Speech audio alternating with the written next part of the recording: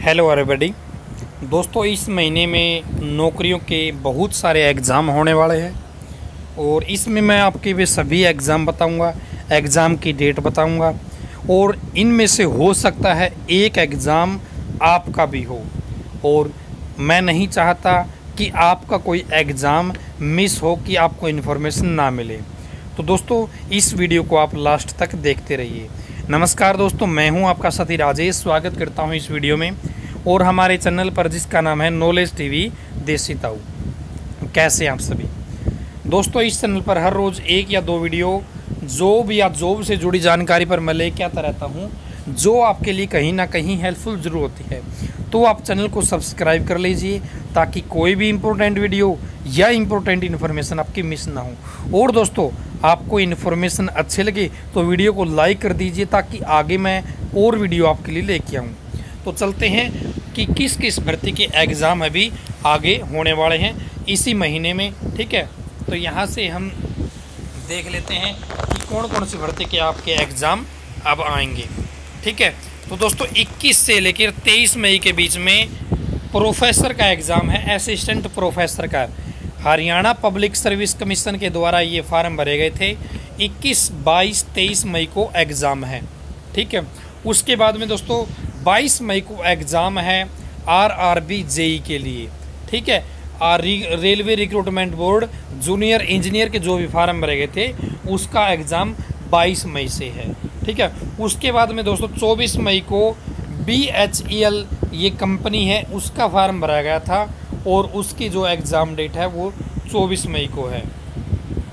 उसके बाद में दोस्तों 26 मई को आपका नायब तहसीलदार का जो फार्म भरा गया था, उसका एग्ज़ाम है। 26 मई को हरियाणा पब्लिक सर्विस कमीशन के द्वारा ये फार्म भरे गए थे। और दोस्तों, इनके जो एडमिट कार्ड है, वो साइट पर डाल दिए गए हैं नायब तहसीलदार के। नीचे जो लिंक है, वहाँ से आप ये एडमिट कार्ड डाउनलोड कर सकते हैं। और जो असिस्टेंट प्रोफेसर है, उसके एडमिट कार्ड भी दोस्तों साइट पर आ चुके हैं। वो भी आप डाउनलोड कर सकते हैं। ठीक है? उसके बाद में दोस्तों 26 मई को एग्ज़ाम है आपका कलरक का, कोर्ट का। जो चंडीगढ़ जो कोर्ट है, Punjab and Haryana high court, Chandigarh के जो फार्म भरे गए थे, जिसमें 18 वैकेंसी थी, उसका जो एग्ज़ाम है, वो 26 मई को होने वाला है। उसके एडमिट कार्ड भी साइट पर आ चुके हैं, आप डाउनलोड कर सकते हैं। उसके बाद में दोस्तों 28 से 30 मई को एग्ज़ाम है सी डब्ल्यू सी का, ठीक है? ये वेयर हाउसिंग कॉरपोरेशन है, उसका ये एग्ज़ाम है 28 से 30 मई। इसमें कई प्रकार की पोस्ट थी दोस्तों, ठीक है? वो भी आपके एडमिट कार्ड साइट पर आ चुके हैं डाउनलोड कर सकते हैं। उसके बाद में 31 मई से लेकर 3 जून तक एफसीआई का एग्ज़ाम था, जिनकी इकतालीस सौ पोस्ट थी दोस्तों, ठीक है? उसमें तीन या चार प्रकार की वैकेंसी थी।